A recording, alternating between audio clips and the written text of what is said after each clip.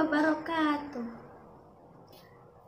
Halo adik-adik Perkenalkan, nama kakak Vicky Salsabila, jurusan PGMI UIN Sunan Gunung Jati Bandung, semester 4. Di sini, kakak akan memberitahu adik-adik tentang kosakata bahasa Arab, yaitu tentang hewan ternak. Sebelumnya, apakah adik-adik tahu apa aja sih hewan ternak itu? Coba ada yang tahu nggak? ayam, Ya, betul. Ayam. Ayam termasuk ke dalam hewan ternak. Selain ayam itu, ada lagi nggak ya kira-kira? Coba, ada yang tahu? ada sapi, Sapi. Ya, betul, sapi.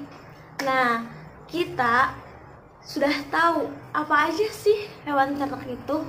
Nah, sekarang kakak akan memberitahu kosakata hewan ternak ke dalam bahasa Arab. Yang pertama, ayam jago. Ayam jago bahasa Arabnya adalah dikun. Apa? daikon, Ya, betul.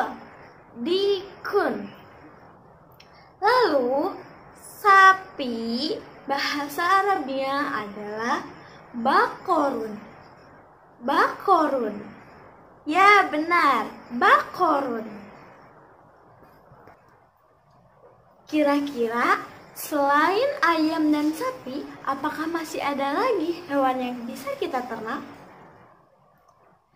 Betul, banyak sekali hewan yang bisa kita ternak. Ada kuda, ada kambing, ada bebek, dan masih banyak lagi. Oke, kakak akan menyebutkan satu persatu ke dalam bahasa Arab. Perhatikan ya adik-adik. Kambing, bahasa Arabnya adalah gonamun. Gonamun. Gonamun. Bahasa Arabnya ikan adalah samakun. Apa? Samakun. Bahasa Arabnya bebek adalah batotun. Apa adik-adik? Batotun. Ya, benar. Kuda, bahasa Arabnya adalah hasonun. Hasonun. Sedangkan domba, bahasa Arabnya adalah ma'izun. Apa? Ma'izun. Ya, betul. Sekarang kakak punya lagu untuk adik-adik menghafalkan kosakata hewan ternak ke dalam bahasa Arab. Ikutin ya adik-adik.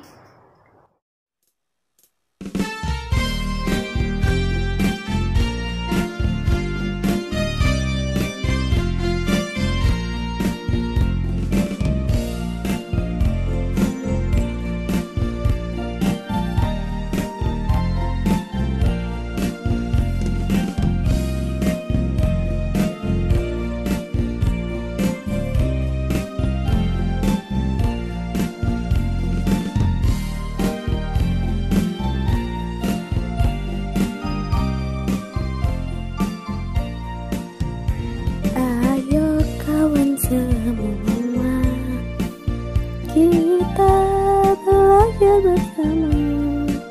Nama-nama hewan bermacam-macam Yang bisa kita ternak Sebutkan hewan satu persatu Yuk